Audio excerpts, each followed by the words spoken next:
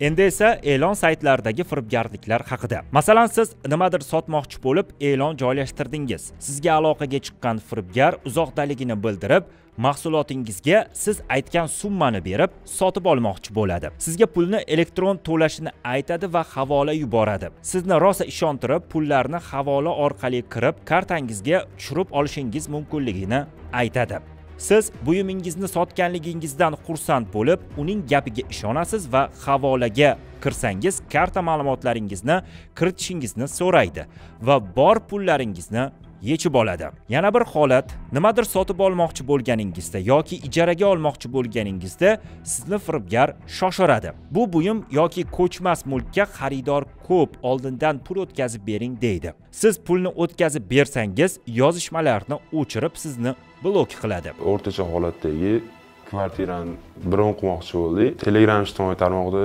yozishdik u shaxs bilan gaplashdik u biz oldindan to'lov qilib qo'yishimizni so'radi.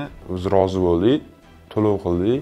Keyin ertasiga u shaxs bilan aloqaga chiqmoqchi bo'lganimizda uni telegram ijtimoiy tarmog'ida bizni Э, blok qora listga solib qo'ygan edi. Agar uyda kvartira ijarada turmoqchi bo'lsang oldindan to'lov qilishing kerak. Edi ya'ni boshqa odamga berib yubormaslik uchun internetdan shu e'lonni olib tashlashligini aytdi. Men rozi bo'ldim. Plastik kartasiga pul tashlab berdim.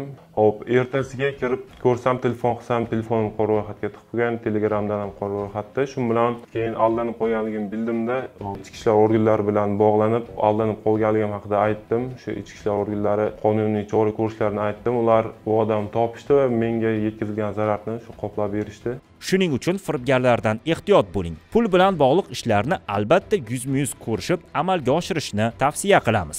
O'zim maslahatimni aytsam ijtimoiy tarmoqda hop yo'q o'ynam rasmlarni qo'yib qo'yib e'lon chiqarib qo'yishadi va pul o'tkazib berishgandan keyin u u odam qaytib topisha olmaydi oldanib qolishadi. Uyni borib ko'rmaguncha shartnoma bilan olmaguncha oldindan to'lov qilmasdan ijaraga pulni o'tkazmaslikni maslahat berardim.